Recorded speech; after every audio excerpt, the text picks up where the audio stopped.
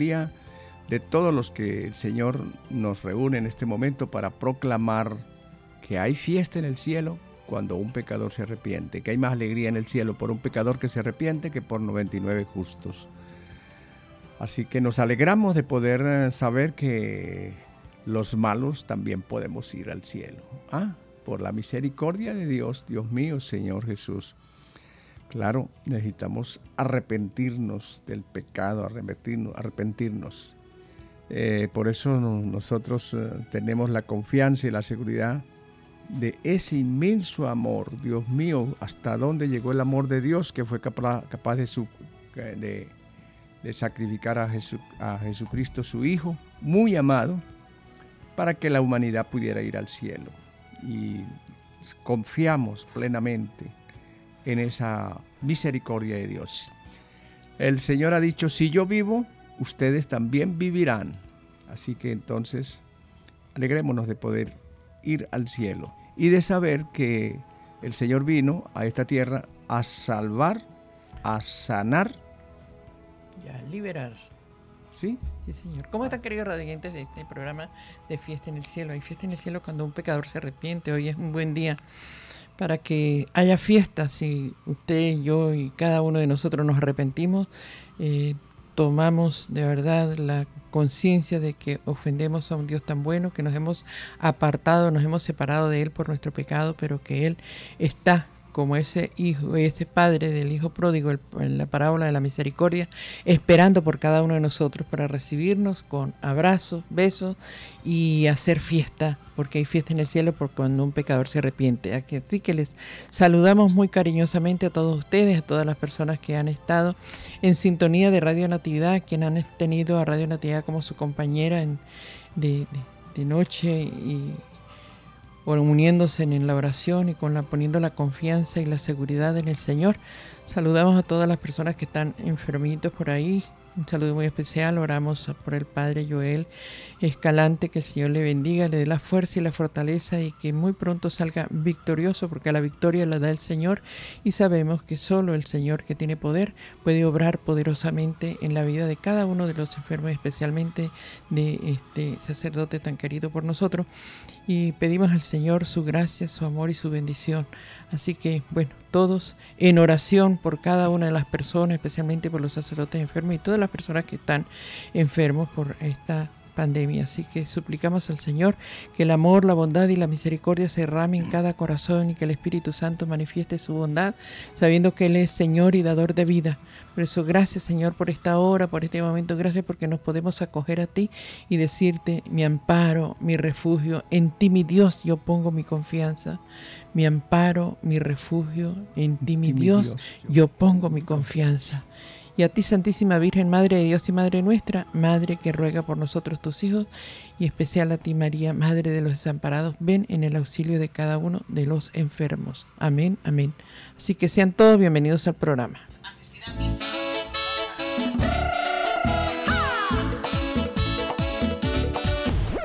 Estás escuchando Radio Natividad 101.7 FM en San Cristóbal y 95.7 FM en la zona norte. Seguimos proclamando la buena nueva al mundo. Hay alegría entre los ángeles de Dios, música celestial, fiesta. Dios ha preparado para los que lo aman cosas que nadie ha visto ni oído y ni siquiera pensado.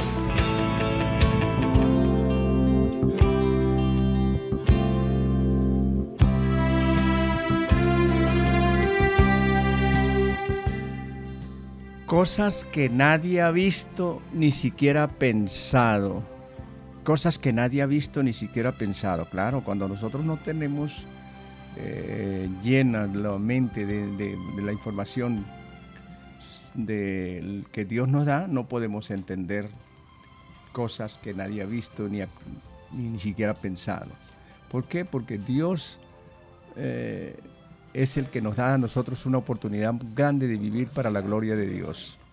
¿Cómo, ¿Cómo podemos entender eso? ¿Cómo lo podemos entender? Porque no lo entendemos porque cuando entra la muerte, dice, mm, cuando entra la mentira, nosotros no podemos entender estas cosas. Mire lo que dice la primera lectura la, del Génesis 3, 1, 8, que dice, de todos los animales salvajes, de todos los animales salvajes creados por el Señor, Dios, Dios, la serpiente era el más astuto. Un día le dijo a la mujer, ¿es cierto? ¿Ah? Esa pregunta, ¿es cierto que Dios les ha prohibido comer de todos los árboles del jardín? La mujer respondió, uy Señor Jesús, no, si, no, ¿cómo es? La, la mujer le respondió a la serpiente, no, si podemos comer los frutos del árbol que está en el centro. Dios nos ha prohibido comer y nos ha dicho que no lo toquemos porque de lo contrario moriremos. La serpiente le dijo a la mujer, hm, eso de que ustedes van a morir no es cierto. Al contrario, Dios sabe muy bien que, si comen de esos frutos se le abrirán los ojos y serán como dioses para conocer el bien y el mal. Entonces los frutos del árbol le parecieron a la mujer apetitosos, de hermoso aspecto y excelentes para adquirir sabiduría, y excelentes para adquirir sabiduría. Tomó de los frutos, comió, después lo dio a su marido, que estaba con ella, y de y él también comió. Al momento se le abrieron los ojos a los dos y se dieron cuenta de que estaban desnudos. Entrelazaron unas hojas de hoguera y se cubrieron con ellas. Oyeron luego los pasos del Señor Dios que se paseaba por el jardín a la hora de la brisa y se ocultaron de su vista entre los árboles del jardín. ¿Por qué será que esa es una de las características de cuando estamos en pecado? nos, no queremos ni siquiera ver a los hermanos de la fe. ¿ah? Nos escondemos. Nos escondemos. Es una actitud que tomamos, pero fíjese cómo tenemos que ya, son lecturas que nos van preparando. La liturgia, recordemos que la liturgia actualiza el misterio. Nos vamos preparando justamente ya para este gran eh, tiempo de cuaresma, tiempo de, llamada del Señor a, volvernos a Él, tiempo de, de reconciliación, tiempo de esperar el gran acontecimiento de la pasión, muerte y resurrección del Señor. Y por eso todo esto ya vienen estas lecturas que nos van a ayudar muchísimo a entrar en esa dimensión y saber sobre todo que cuán grande es el amor de Dios y cuán grande es su paciencia por cada uno de nosotros, porque Dios justamente nos da una, otra, otra y otra oportunidad para que nosotros creamos, le creamos a Dios, nos apartemos del pecado, nos volvamos a Él, que podamos entender y comprender cuán grande fue su amor bondadoso, su amor misericordioso, su amor que es fiel por cada uno de nosotros. Pero ahí está justamente la desobediencia, somos distraídos, nos dejamos engañar, eh, el mundo nos atrapa, o sea, cuántas cosas, y por eso el Señor quiere justamente que nosotros tomemos conciencia, volvamos nuestra mirada y todo nuestro ser al Señor, nos apartemos del pecado y vivamos según la manera y la forma que Dios quiere que nosotros, sus hijos, vivamos en comunión y en unión con Él. Por eso, qué bueno que podamos estos días y este tiempo que se nos avecina poder interiorizar en este gran misterio del amor de Dios por cada uno de nosotros. Es el misterio del amor de Dios por nosotros sus hijos, porque es la mayor manifestación del amor de Dios fue habernos entregado a su Hijo Jesucristo habernos entregado. es la mayor manifestación del amor de Dios por nosotros. Dios que no perdonó a su Hijo, sino que le entregó por cada uno de nosotros. ¿Cómo no nos va a conceder con Él cualquier cosa que nosotros le pidamos? Pues pidamos al Señor que de verdad nuestra vida sea un reflejo de lo que tiene que ser un hijo de Dios, un hijo que cree realmente en el gran amor y la gran bondad de nuestro Dios. Vamos a una pauta y ya regresamos. Radio Natividad no podía quedarse atrás. Y es que por fin llega la aplicación oficial de nuestra estación radial, que reúne todo lo que necesitas. Toda nuestra programación en tiempo real. Disfruta de nuestra señal en vivo.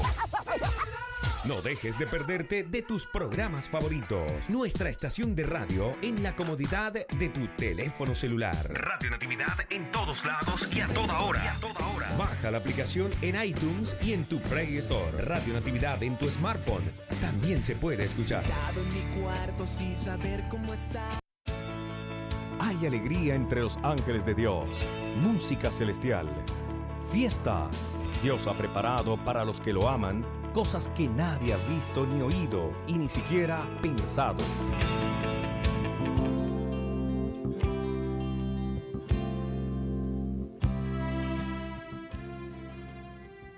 No siga la corriente del mundo en que vivimos. Transfórmese por la renovación de la mente para que pueda saber lo que es bueno, perfecto y agradable a Dios. No siga la corriente del mundo en que vivimos.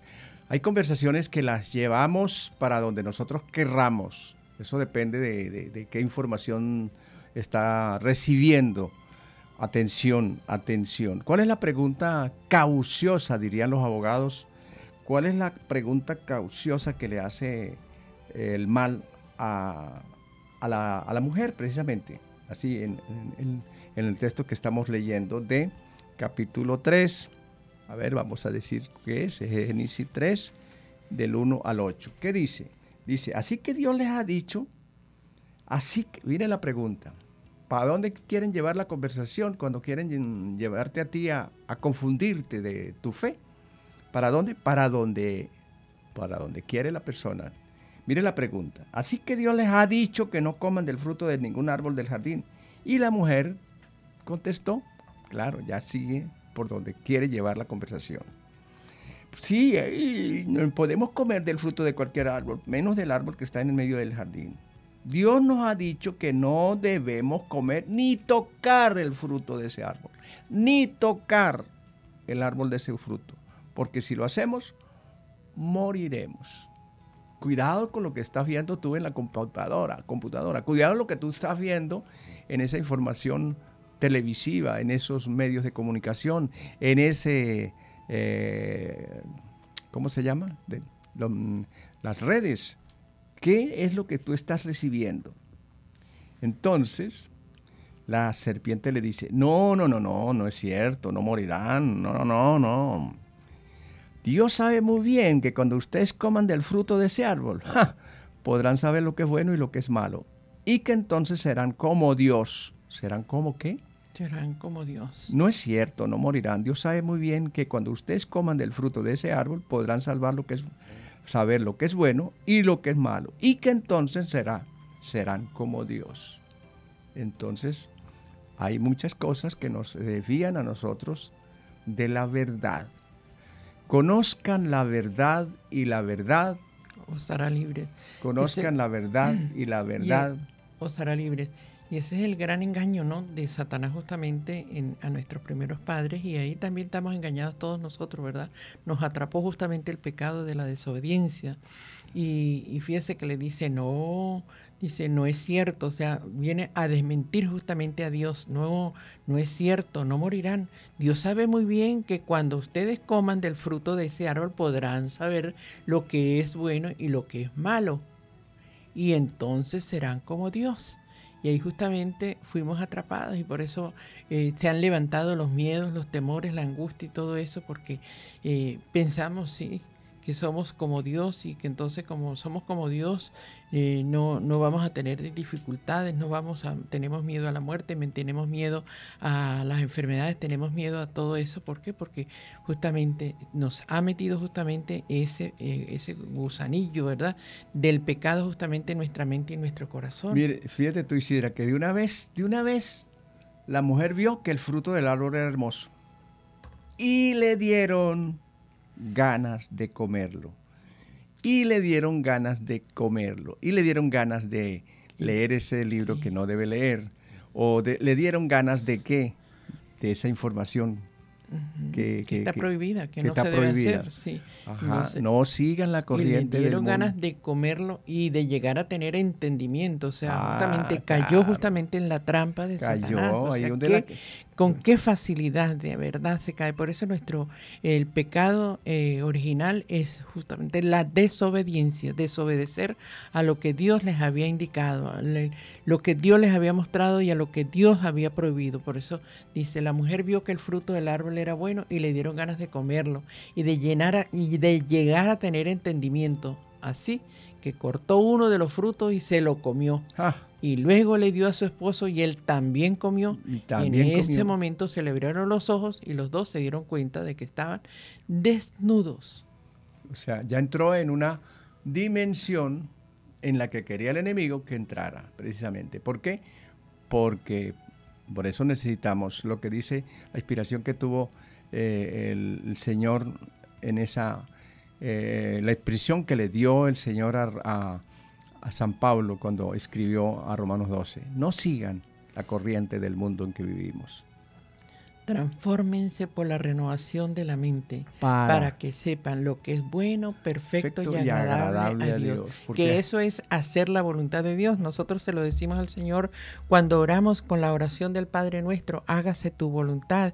Bueno, ¿y cuál es la voluntad? ¿Cuál es la voluntad que tenemos que hacer? Bueno, hacer lo que es bueno, y perfecto lo que es y lo que le agrada a Dios, lo que es bueno, perfecto y lo que le agrada a Dios. Entonces, eso es hacer la voluntad de Dios. Por eso tenemos que pedírselo al Señor, hágase, Señor, tu voluntad, no la voluntad del ser humano, no la voluntad del hombre que se y, del ser humano que se desvió justamente de lo que Dios le había propuesto, de lo, de lo que era realmente su voluntad, porque para eso él nos él nos, nos creó justamente justamente para que fuésemos santos, ¿verdad? Como Él es santo y no vino la, la, mentira del enemigo, vino a desmentir lo que Dios había dicho y se cayó justamente en el pecado y al entrar el pecado entró con todas sus consecuencias. Pero fíjate tú una cosa que, nos pasa. Por ejemplo, cuando tienes una mala información, tienes ya eh, el, gusanito, digamos, de, de, lo que pasa. Mire, por ejemplo, la oración personal cuando dejamos la oración personal. El hombre y su mujer escucharon que Dios, eh, que el Señor, que Dios, el Señor, andaba por el jardín a la hora en que sopla el viento de la tarde. Y corrieron a esconderse. ¿Cuál es la reacción? Esconderse. Esconderse. ¿Cuál es la reacción? Dejar la oración. ¿Cuál es la reacción? Acuérdense que nosotros hemos dicho aquí muchas veces y lo decimos y no nos cansamos de decirlo porque lo decimos para nosotros, para que se afirme en nosotros entra en tu cuarto, cierra la puerta, ora al Padre que está en lo secreto. Y, el Padre, que, está, en lo secreto, te premiará en público. ¿Cómo te va a premiar? Precisamente cuando tú dejas, cuando el activismo, atención, atención, activismo, Usted sabe lo que es activismo, sí, llenarse de muchas preocupaciones y cosas que, son buenas porque de pronto es el mismo trabajo, ¿no? Pero es que tiene que haber un equilibrio, ¿verdad? O sea, no podemos dejar eh, este mantenernos en comunión y contacto con Dios porque hay otras cosas que nos van a venir a suplantar eso. Por eso tenemos que pedir la fidelidad a Dios. Dios por encima de todas las cosas. Mucho cuidado con el activismo. Entonces, ¿qué sucede? Que entonces corrieron a esconderse de, entre, de él entre los árboles del jardín. Pero Dios, el Señor, llamó al hombre y le preguntó, ¿dónde estás? ¿Dónde estás? ¿A quién llamaron primero? Al hombre. ¿Y a quién llamó? Y, San José cuando estaba con esa duda de, lo de la Virgen, eh, eh, a, quién le, dieron esa, esa, esa responsabilidad? Esa responsabilidad y esa explicación a San José justamente. ¿Por qué? Porque precisamente necesitamos, cuando dejamos entrar la duda, ahí está el problema. Entonces, dice aquí, escuché que andabas por el jardín y tuve miedo porque estoy desnudo, por eso me escondí. Entonces Dios le preguntó, ¿a quién te ha dicho que estás desnudo? Hmm, ¿Acaso has comido del fruto del árbol del que yo le di y que no comieras? El hombre contestó, la mujer que tú me diste, esa es la culpable, o sea, mejor dicho, usted es el culpable, Señor, porque la mujer que me diste por compañera me dio de ese fruto y la comí. Entonces Dios, el Señor, le preguntó a la mujer, ¿por qué lo hiciste? Y ella respondió, la serpiente me engañó, porque siempre vamos a tener una excusa. Siempre vamos a buscar otro culpable, ¿no? no asumimos nuestra culpa, sino que le ponemos la culpa a otro, ¿verdad? La serpiente que me engañó y por eso comí del fruto. Entonces Dios el Señor dijo a la serpiente, por esto que has hecho, maldita serás entre todos los demás animales. Te doy, de hoy en adelante caminarás arrastrándote y comerás tierra. Haré que tú y la mujer sean enemigos, lo mismo que tu descendencia y su descendencia. Y su descendencia te aplastará la cabeza y tú le morderás el talón. Entonces, todo un plan de Dios y ahí ya nos está el Señor mostrando y dándonos el plan de salvación.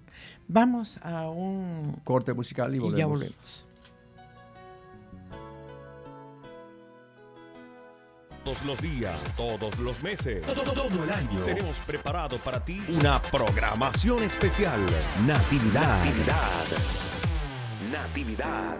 He pecado contra Dios y ante ti el pecado va contra Dios, porque ofende la verdad y la santidad del único.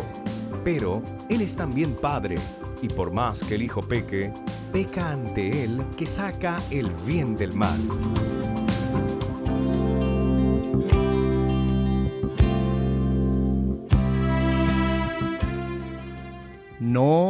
Siga la corriente del mundo en que vivimos. Transfórmese por la renovación de la mente para que pueda saber lo que es bueno, perfecto y agradable a Dios. Tenemos que traer la bendición para nuestros hijos. ¿Cuál es la consecuencia de esa desobediencia de, los, de esos primeros padres? Bueno, los hijos. ¿Qué tragedia sucedió después de esa desobediencia? ¿Qué fue la tragedia que sucedió? ¿Se imaginan ustedes un hermano matando a otro hermano? ¿Ah? ¿Y si dirá? Sí, señor, porque es que el pecado trae sus consecuencias. Pero la tragedia, usted sabe, la imagina para esos papás saber que llegó una tragedia. ¿Por qué? Porque nosotros nos desviamos de la verdad. Conozcan la verdad y la verdad los hará libres. ¿Para qué? Para traer la bendición sobre la descendencia que viene. Y para traer la bendición, porque necesitamos vivir la alegría de los hijos de Dios. Por eso necesitamos decirle a la Virgen María, que fue la primera oración que nosotros aprendimos, ruega por nosotros, Santa Madre de Dios. Para que seamos dignos de alcanzar y gozar las promesas y gracias de nuestro Señor Jesucristo. Ruega por nosotros, Santa Madre de Dios para que seamos dignos de alcanzar y gozar las promesas y gracias de nuestro Señor Jesucristo. ¿Y cuáles son las promesas del Señor? Precisamente cuando Dios nos da a nosotros esa gracia especial de no seguir la corriente del mundo en que vivimos.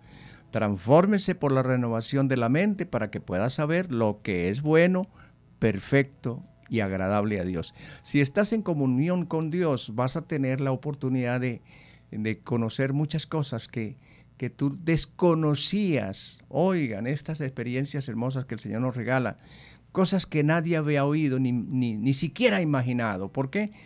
Porque tenemos, eh, al tener la comunión con Dios, el Señor nos va a dar la manifestación sobrenatural de conocer a Jesucristo. ¿Y eh, quién es Jesucristo? El Hijo de Dios. ¿Y quién es el Hijo de Dios? La verdad, ¿cómo es? ¿Qué es, qué es Jesucristo? La verdad, el camino, la verdad y la vida. El camino, la verdad y la vida. Así que no siga la corriente del mundo que vivimos, porque usted va a tener una experiencia con el Espíritu Santo, la tercera persona que le va a dar revelación para entender y comprender por qué nosotros entramos a la iglesia y encontramos un sagrario que dice, yo soy, la, yo soy el pan de vida y yo voy a recibir la vida, la vida. Y entonces Mm, ¿qué voy a hacer? Que en ese momento que está el sacerdote comulgando, estoy yo, si, si estoy escuchando o estoy viendo por televisión, yo estoy recibiendo también ese momento, eh, porque eh, una sola palabra tuya bastará para salvarme. Y entonces esa, esa palabra es la que yo necesito recibir. Conocer la verdad y la verdad me hará libre. Amén. Amén. Dice, Dios les bendiga Feliz eh, Radio Natividad Familia y Radio Natividad. Gracias, Madre Santísima, por interceder con tu Hijo por un día más. Sabemos que tu mano sanadora está pasando por tantos enfermos. Hágase tu voluntad desde Palmira, Laura Maribel Chacón de Rojas. Eh, desde, desde Palmira, familia Rojas. Bueno, que el Espíritu Santo nos ilumine. Un texto por aquí dice también, dice la Biblia del Salmo 33, 22 dice que tu amor, Señor, nos acompañe tal como esperamos de ti. Buenos días, por favor, para nombrar al señor Gerardo Lobo, mi querido papá, en la misa de hoy. Por eso les decimos que por favor se comunique con la señora a las, 2 de, la, tarde, aquí con la señora que está en la, la, operadora, 2 de la tarde para que haga la petición.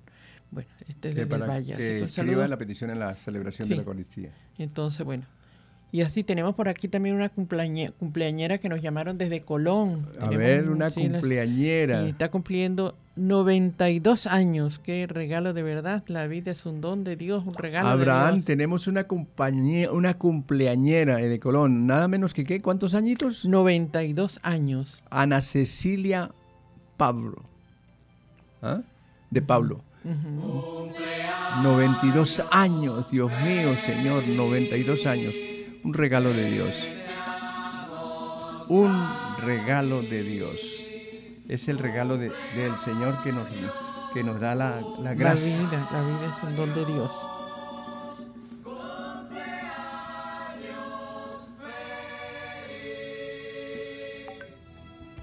Por eso necesitamos esa manifestación sobrenatural que nos da la alegría de saber que si estamos en comunión con el Señor, nosotros vamos a encontrarnos con la vida.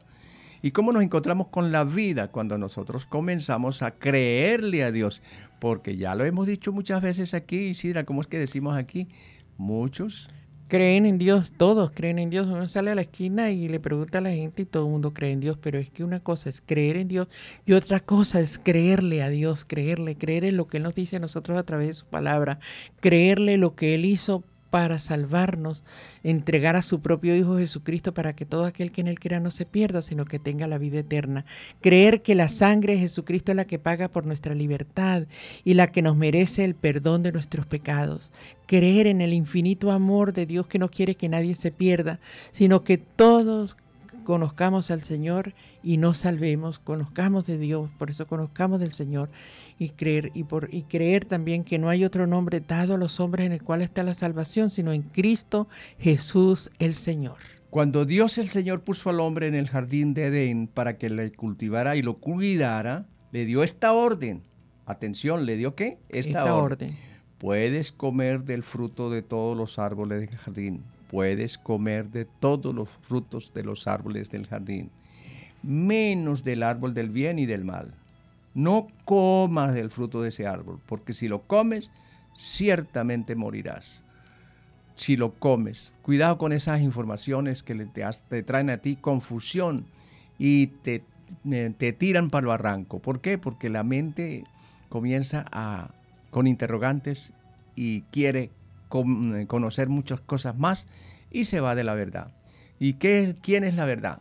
Nuestro Señor Jesucristo, que Él viene a darnos a nosotros la oportunidad de recuperar la vida que el Señor, que el, pecado nos trajo como consecuencia la muerte. La muerte, oiga, es, la muerte no la inventó, eh, Dios no quiso la, no quiso la muerte, ¿no? La muerte viene como consecuencia justamente del pecado, ¿no? Por eso dice que el por el pecado entró la enfermedad y la muerte. Claro, porque y, y, quién y no es que yo no tengo pecado, cuidado porque nosotros precisamente a medida que vamos entendiendo muchas cosas mm, vamos comprendiendo que que no, que sí tenemos pecado, que sí somos pecadores. Dijo, le dijo al, Señor una vez a, alguien, bueno, bueno mi Padre que está en los cielos. Mire, dice aquí en Sabiduría, en el capítulo 1, dice en 13, mm, dice, no busquen la muerte con una vida extraviada, no, no, ni por sus acciones atraigan sobre ustedes la perdición, pues Dios no hizo la muerte, atención, Dios no hizo la muerte, ni se alegra destruyendo a los seres vivientes. Todo lo creó para que existiera. Lo que el mundo produce es saludable y en ello no hay veneno mortal. La muerte no reina en la tierra porque la justicia es inmortal. Dios no hizo la muerte. Es que la muerte precisamente viene como consecuencia de la, desobediencia. Tenemos otro mensaje por aquí. Dice, buen día, Dios los bendiga. Otro, buen día, Dios les bendiga. Hoy en peregrinación virtual Nuestra Señora del Rosario en el Valle. Saludos desde la comunidad eclesial de base Divino Niño Jesús. Feliz día. Buen, qué buen programa. Tengo días tratando de comunicarme con ustedes. Que el Señor les bendiga para poder pedir oración por la salud de Antonio Vázquez. Buen día, hermanos. Que nuestro Señor Jesucristo les bendiga. Súper feliz día de la juventud. Concepción y Laura. Ay, qué bien, Concepción y Laura. Un saludo muy especial para ustedes. Estos son hermanos nuestros que están por la vía de Rubio. Bueno, Ali, mire, hemos llegado al final del programa. Se nos acabó el tiempo. ¿Seguro? Sí, señor. Tenemos ya viene el Padre con el programa. Así que, bueno, qué bueno que hoy podamos decirle al Señor que queremos ser obedientes a Él, que ese pecado de desobediencia, que es el que nos lleva justamente a, a apartarnos de Dios, que nosotros podamos ser fiel a nuestro Dios. Así que será hasta el próximo programa cuando nuevamente estaremos de vuelta con ustedes. Que el Señor nos bendiga. Hemos estado bajo la bendición del Dios de Israel, con la protección del Espíritu Santo, la dirección de la administradora Virgen María de Jerusalén. A esta hora los esposos Salí e Isidra. Abraham en buena música. Nos vamos escuchando Radio Natividad y después al Padre.